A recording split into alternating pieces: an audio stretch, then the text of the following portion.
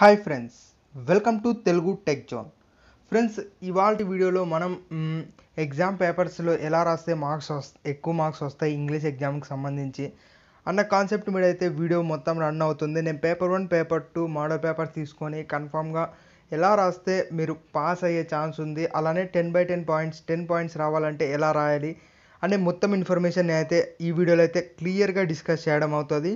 Friends నేను paper one paper two రెండు చూస్తా కాబట్టి వీడియో కొంచెం లెంత్ వచ్చే అవకాశం ఉంటుంది. పూర్తి వీడియో చూడమని అయితే రిక్వెస్ట్ చేస్తున్నా. ఇంగ్లీష్ ఎగ్జామ్లో కొంచెం గ్రామర్ మీరు ఉపయోగించానంటే కన్ఫామ్గా టెన్ పాయింట్స్ వచ్చే ఛాన్స్ అయితే ఎక్కువగా ఉంది. వాటి గురించి కంప్లీట్ డీటెయిల్స్ అయితే తెలుసుకుందాం. ఫ్రెండ్స్ వీడియోలో వెళ్ళే ముందుగా ఒక చిన్న రిక్వెస్ట్ ఏంటంటే మన తెలుగు టెక్ జోన్ యూట్యూబ్ ఛానల్ని ఫస్ట్ టైం విజిట్ చేస్తుంటే సబ్స్క్రైబ్ చేసుకోండి. ఫ్రెండ్స్ ఇక టాపిక్లోకి వెళ్ళిపోతే నేను ఆల్రెడీ ఇంగ్లీష్కి సంబంధించి పేపర్ వన్ పేపర్ అయితే డౌన్లోడ్ చేశాను. జస్ట్ ప్యాటర్న్ మోడల్ పేపర్ మాత్రమే ఇది ఎగ్జాక్ట్ పేపర్ అయితే కాదు.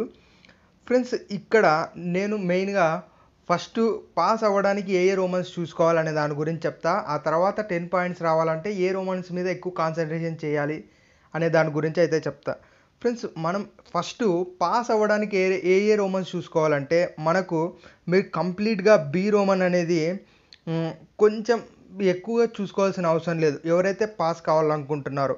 ఎందుకంటే మీకు రోమన్ వన్ రోమన్ త్రీ అంటే సెక్షన్ ఏ సెక్షన్ త్రీ మీరు ఈ చూసుకున్నట్టయితే కన్ఫామ్గా మీకు ఫుల్ మార్క్స్ వచ్చే ఛాన్స్ అయితే ఉంది. ఇక్కడ నేను సెక్షన్ ఏలో మీరు చూసుకున్నట్టయితే ఫ్రెండ్స్ మీకు సెక్షన్ ఏలో వన్ టు ఫైవ్ క్వశ్చన్స్ అనేది జస్ట్ వన్ మార్క్ క్వశ్చన్స్ మీకు ఒక ప్యాసేజ్ ఇస్తారు. ఆ ప్యాసేజ్లో మీకు అడిగిన క్వశ్చన్ లైన్ ఎక్కడుందో ఫైండ్ అవుట్ చేసి ఎగ్జాక్ట్ సేమ్ లైన్ రాసేస్తే చాలు కన్ఫామ్గా మీకు ఫుల్ మార్క్స్ అయితే పడతాయి. ఇందులో ఎటువంటి మార్క్స్ తీసేయడానికి లేదు. ఎందుకంటే మీరు రాసే ప్రతిదీ పర్ఫెక్ట్గానే ఉంటుంది కాబట్టి ఎందుకంటే అక్కడ ఇచ్చిందే మీరు కాపీ పేస్ట్ చేస్తున్నారు కాబట్టి ఎగ్జాక్ట్గా ఫుల్ మార్క్స్ అయితే పడతాయి. సేమ్ అలానే మనకు question number six to eight అంటే అక్కడ అక్కడ five into one five marks అలానే ఇక్కడ three into one three marks same పైన ఒక పోయం ఉంటుంది దాన్ని బేస్ చేసుకొని కింద త్రీ క్వశ్చన్స్ ఉంటాయి.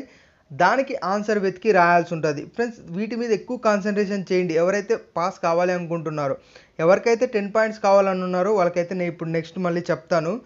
ఇది మెయిన్గా పేపర్ వన్కి సంబంధించి. అలానే కింద ఇంకొంచెం చూసినట్టయితే మీకు ఒక ప్యాసేజ్ ఇస్తారు. దానికి సంబంధించి టూ క్వశ్చన్స్ ఉంటాయి.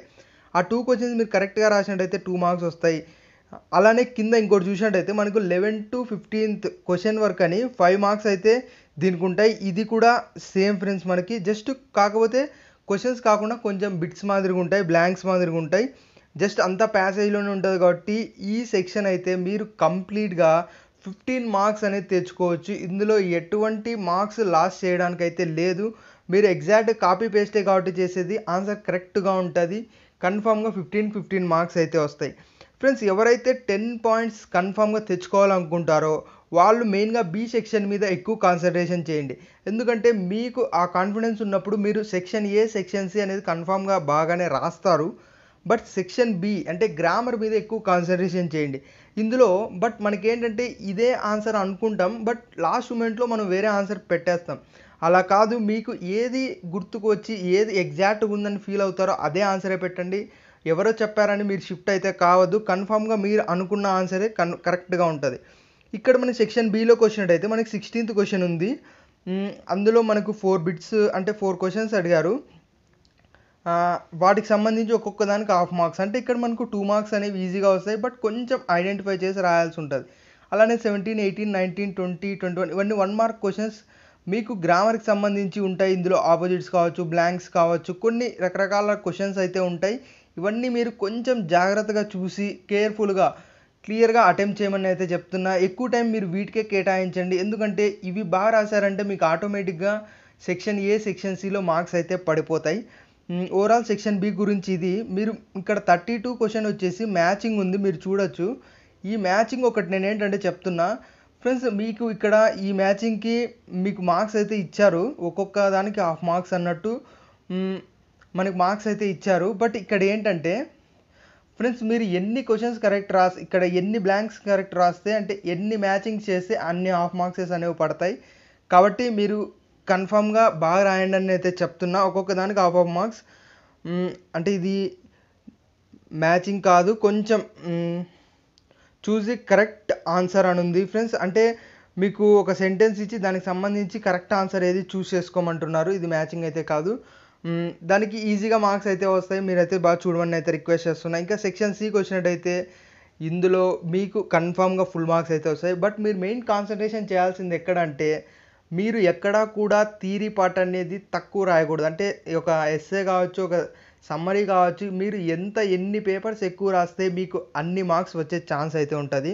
కాబట్టి ఎక్కువ రాయమని అయితే రిక్వెస్ట్ చేస్తున్నాయి ఇక సెక్షన్ సిలో మనకు థర్టీ త్రీ నుంచి ఒక క్వశ్చన్ థర్టీ ఫోర్ నుంచి ఒక క్వశ్చన్ అలానే థర్టీ ఫైవ్ నుంచి ఒక ఒక క్వశ్చన్ ఓవరాల్గా ఫిఫ్టీన్ మార్క్స్ దీని గురించి మీరు కొంచెం ఒక వన్ అవర్ టైం తీసుకొని త్రీను కంప్లీట్ చేసేసారంటే మీకు కన్ఫామ్గా ఫిఫ్టీన్ మార్క్స్ అయితే రావడం జరుగుతుంది. బట్ సింపుల్గా ఈ మార్క్స్ అయితే ఉంటాయి. బట్ నేను చెప్పేది ఏంటంటే కొంచెం హ్యాండ్ రైటింగ్ నీట్గా మెయింటైన్ చేయండి. ఇంకా ఏంటంటే మీరు ఎంత ఎక్కువ వాళ్ళకి రిప్రజెంటేషన్ ఇస్తే అంత బాగుంటుంది అంటే ఏ ఏ స్కెచెస్ యూజ్ చేయాలా ఏ పెన్స్ యూజ్ చేయాలా వాటన్నిటి గురించి నేను నెక్స్ట్ వీడియోలో అయితే చెప్తాను. ఫ్రెండ్స్ ఇది ఓవరాల్ పేపర్ వన్ గురించి. ఇక పేపర్ టూ గురించి మనం వచ్చినట్టయితే ఫ్రెండ్స్ నేను పేపర్ టూ గురి అది కూడా డౌన్లోడ్ అయితే చేశాను. దాని గురించి కూడా మనం ఒక లైట్గా ఎక్స్ప్లెయిన్ అయితే ఇచ్చుకుందాం.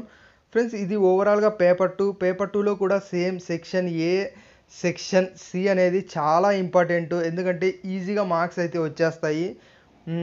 ఇక సెక్షన్ వన్లో సెక్షన్ ఏలో మీరు ఫస్ట్ క్వశ్చన్ కనుక చూసుకున్నట్టయితే మనకు పైన ఒక ఇన్ఫర్మేషన్ ఉంది దానికి సంబంధించి ఫైవ్ క్వశ్చన్స్ ఇది చాలా easy dead easy friends five marks ఈజీగా మీకు అయితే వస్తాయి.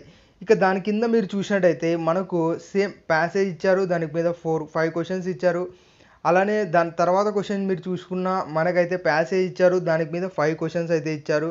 ఒక order of the order of the statements అయితే మనకి ఇచ్చారు జస్ట్ ఏబిసిడీలో ఒక ఫైవ్ పెట్టడం వల్ల మీకు ఫైవ్ మార్క్స్ వచ్చే ఛాన్స్ ఉంది. బట్ క్లియర్గా అబ్జర్వ్ చేసి అయితే పెట్టండి. ఇది జస్ట్ పాస్కి బట్ టెన్ పాయింట్స్ రావాలనుకున్న వాళ్ళు కన్ఫామ్గా వొకాబులరీ మీద ఎక్కువ కాన్సన్ట్రేషన్ చేయమని నేనైతే చెప్తున్నా. ఎందుకంటే ఇక్కడే మీకు ఏదైనా తప్పు రాసిన మార్క్స్ తీసేయడానికి ఉంటుంది బట్ ఆ సెక్షన్ ఏ సెక్షన్ సిలో మీరు ఎలా రాసినా మార్క్స్ వచ్చే ఛాన్స్ ఉంటుంది. కానీ వొకాబులర్లో మీకు మార్క్స్ వచ్చే ఛాన్స్ ఉండదు.